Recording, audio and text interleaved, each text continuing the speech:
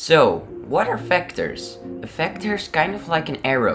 It has a tail and a head. In Roblox Studio, the tail of such an arrow is at the origin. The origin is always at 000 on Roblox. And vectors also have a direction that they point in. On Roblox, the direction of the vectors is the position of the head of the vector in 3D space.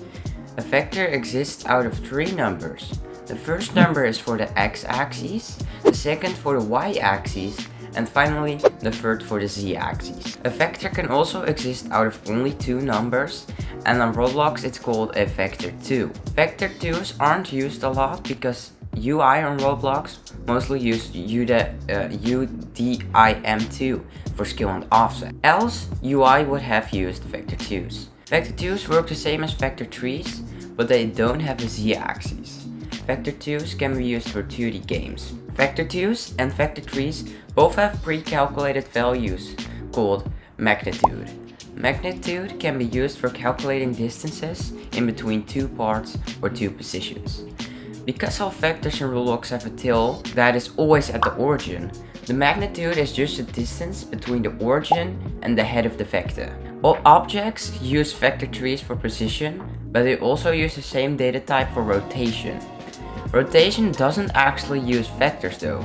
It's only because a vector 3 has three inputs for values.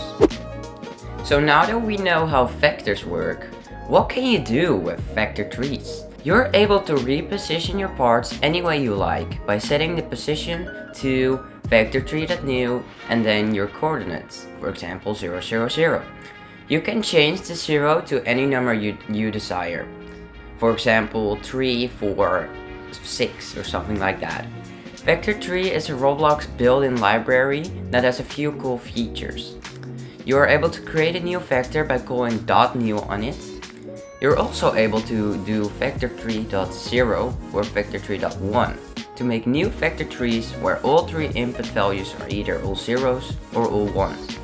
It's also possible to add, subtract, multiply, and divide vector 3s by other vector 3s. Vector 3s can also be multiplied and divided by normal numbers, but for addition and subtraction, that's not the case. If you want to be able to calculate the distance between two vectors, vector 3s, then do the following. First, get the difference between the two vector 3s. The way we do this is by just subtracting one from another. In Lua, it would look something like this. Difference is equal to first vector 3 minus second vector 3. After that, we just get the magnitude of our new difference vector. Distance is difference dot magnitude. And that's how you get the distance between two vector 3s. This works perfectly fine for vector 2's too. Now I'll be talking about the more advanced functions. Those three being colon cross, dot unit, and colon dot. This will be complicated, so you can skip this part if you want. First of all, we have dot unit. The unit of a vector is really just another vector with a magnitude of 1 that has the same direction as the original vector. The unit's vector's head position is not the same as the original vector's head position, but both vectors are po pointing in the same direction. If you don't quite understand, remember that they are arrows.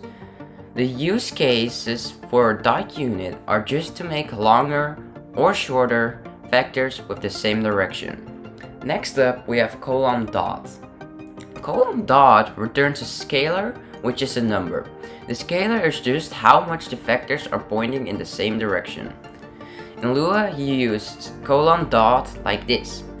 Local scalar is first vector 3, colon dot, second vector 3. Let's say that we have two vectors, both with a magnitude of 1. If they are pointing in the opposite direction, then the scalar will be negative 1, while if it will be the exact same direction, then it will be positive 1. This can be used for field of view, but also with two objects both are looking in the same direction. And at last we have colon cross. I haven't really ever used colon cross, but it returns a vector perpendicular to the two other vectors. In Lua you use colon cross like this.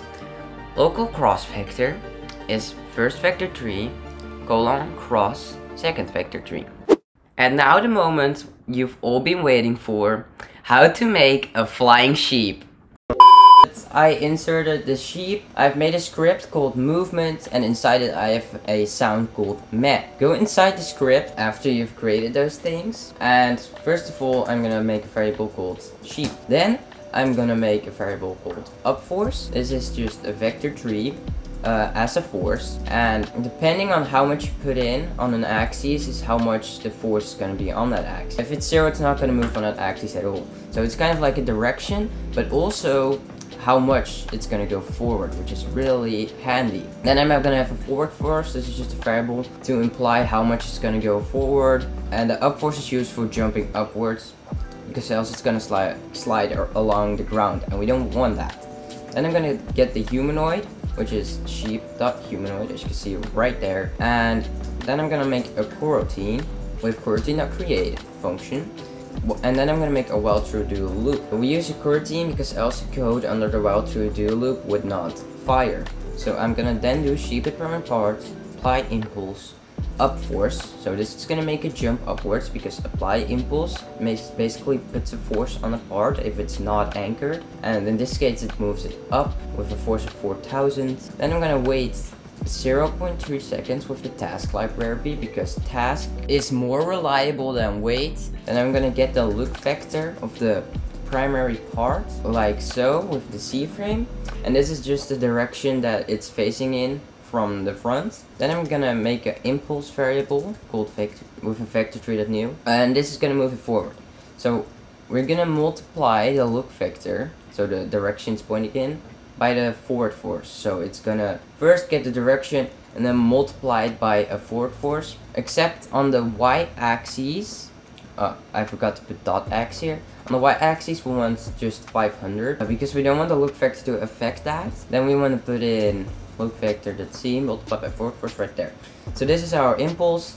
Then I'm gonna apply that impulse on the primary part by putting uh, it in here. And then I'm gonna wait another 3 seconds with the task library. Then I'm gonna make a function to be able to play my sounds. So play meh with delay. Then I'm gonna have an argument right here and it's gonna be a number or nil because I put a question mark behind it so it's allowed to be nil. Then if the argument is a number by checking the type, the data type of it.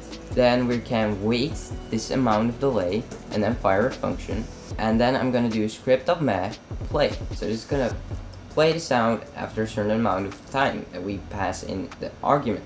If I didn't pass in anything in this function, then the type is going to be nil, it's not going to be equal to number, so it's going to fire the code right here. So it's going to be script of meh play, so we don't have any delay at all. Then I'm going to do task defer uh, this schedules a function as well.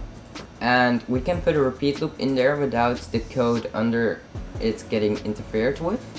Then I can do play meh with delay then the delay when I put in which is next number 0.1 comma 10 actually no. I'm gonna change this a little bit. I'm gonna make it local delay time is equal to play meh with delay sorry RNG next. Number 0 0.1 10 local delay time yeah. And then we do play meh with delay delay time it says it doesn't exist. I don't know why. Then task await delay time. There we go.